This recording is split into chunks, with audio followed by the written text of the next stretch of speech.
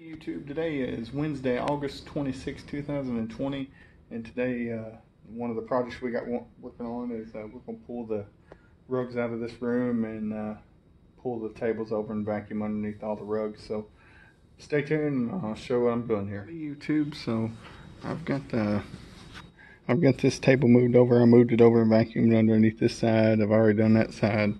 So I did it in two sections. And so now I'm to move the table back.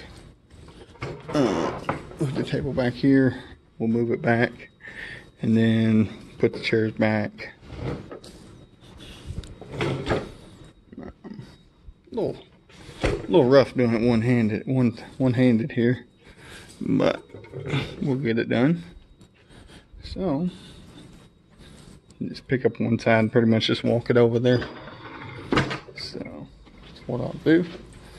But I already got on, up underneath, vacuum on the top of that rug and underneath. Same one with this and on top and underneath. Same one with this one on top and underneath it. So, got that done. So, and this is just, you know, the way I like doing. I like coming through every couple weeks and just, you know, I look underneath them every week and then just, you know, make sure they're okay uh, the rest of the time.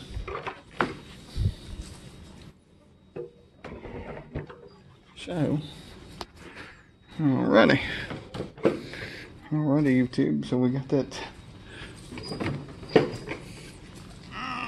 Let's set you down here, maybe. Let's see here. Alrighty, YouTube. Let's see if I can get this. Sorry about the camera work, guys. But just want to show you what we ran into and how to move that table. So, um, so now what we'll do is we'll just put the chairs back where they go.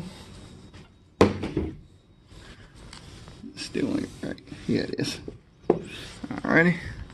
Make sure they're good and flat, the rugs are. Put the chairs back. And then we'll come back through and disinfect it after a while as well. But this is just a project I'm showing you that we're doing, one of the projects that we're doing today.